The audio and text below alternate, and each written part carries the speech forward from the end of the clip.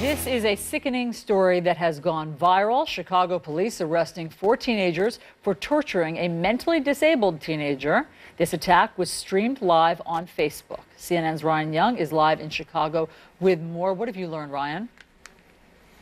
Well, this is just a tough story to talk about. In fact, at one point, they stuck the young man's head in a toilet and made him drink the water. This video is very disturbing, and what you're going to see is something that police are still investigating. Look at him. Tied up. This disturbing 30 minute video streamed live on Facebook shows a man tied up, his mouth covered, crouched in the corner of a room. It's sickening.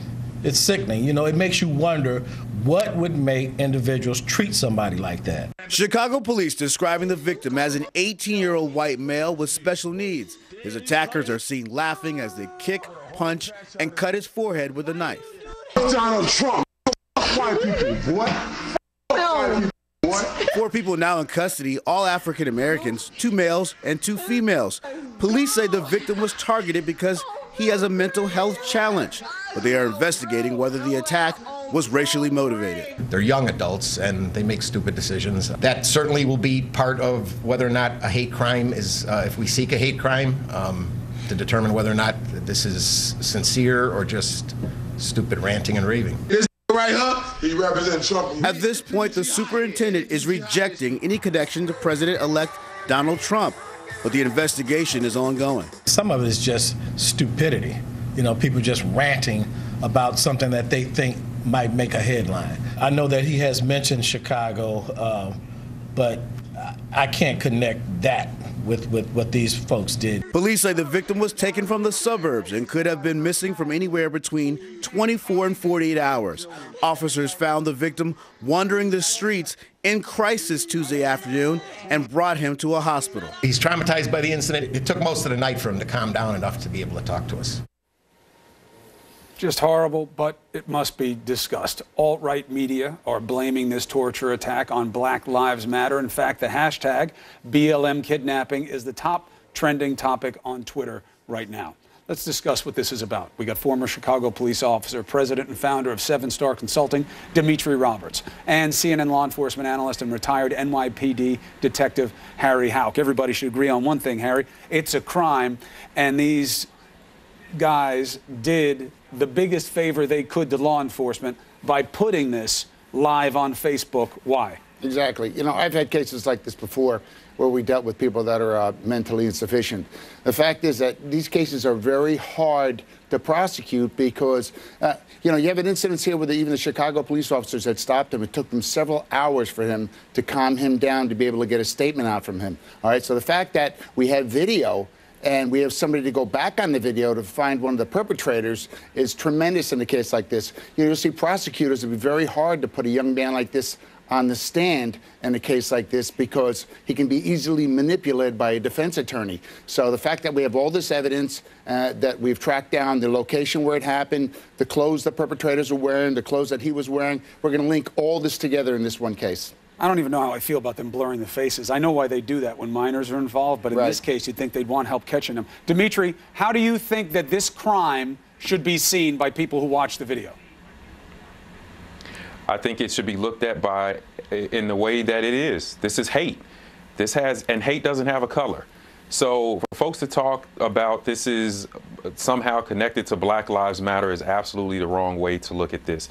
Hate is hate. Hate doesn't have a color, and we cannot respond to hate with hate. It's just going to perpetuate the cycle. What I think we can do in this situation is say that these are individuals that acted alone. And if we look at it that way, now we can really focus on rectifying the problem.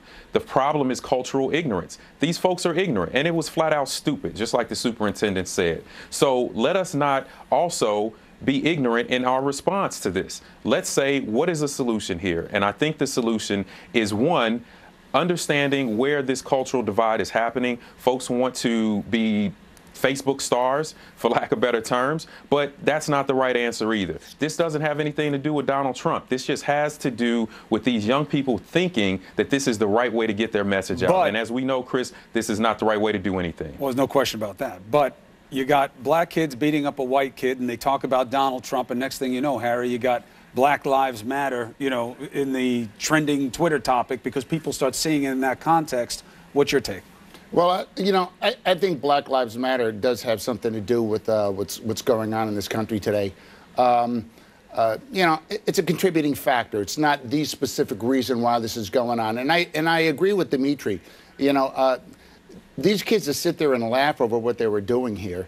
Um, this definitely look. Uh, what I look at it right now is if, if we were, I don't think that this is a uh, any way connected to Trump. I think it's a bias crime. Uh, I think they committed this uh, uh, act against this young man because he was mentally insufficient and the fact that he was white. All right. But as far as, um, you know, what, what, Dimitri said, you know, regarding, uh, um, you know, Black Lives Matter being part of this, uh, I, I, I, think there's there's definitely some indication, you know, with this narrative that's going on out there that might make uh, some black individuals attack whites. You know, and so here's the, here's the, here's, not not only that, but let me, let, me just, let me just say one more thing. Um, all right, the fact is that if we're looking at four white guys doing this to a black insufficient, uh, mentally insufficient young man, we'd be having riots on the street now. And Black Lives Matter would be taking advantage of that narrative, and so would other people who are actually part of that narrative. Dimitri? we, we have a real opportunity here. Let's not be further divided around these issues. This has nothing to do with a hashtag. Folks always feel like they need to be on one side of this issue or the other. Nobody's, it, we don't even need to bring Black Lives Matter into this.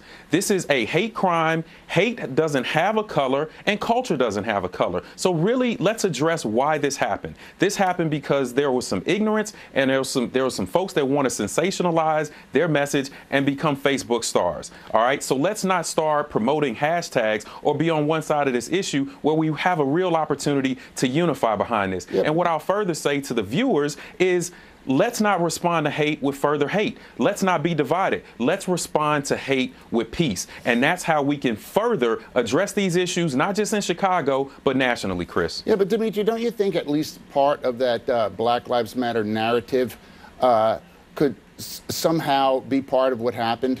I mean, we see it happening with police officers, uh, uh white police officers being attacked. Uh, we're seeing it with uh, every time a police officer shoots an unarmed perpetrator and it turns out that the officer was correct in actually uh, shooting a perpetrator. Uh, don't you think that that's, I'm not blaming Black Lives Matter for all the problems, but I think that they are partially connected to this in some way as a result of that narrative. But it, it's, it's up to us, Chris, to change that narrative. That's why we're here. We're sitting on the national spotlight right now talking about this issue, and it is up to us to change that narrative. So, yeah, it could be connected, but it doesn't have to be. And that's my message today. Let's not make this connected to something that it's not. These are young folks who committed an act of hate against another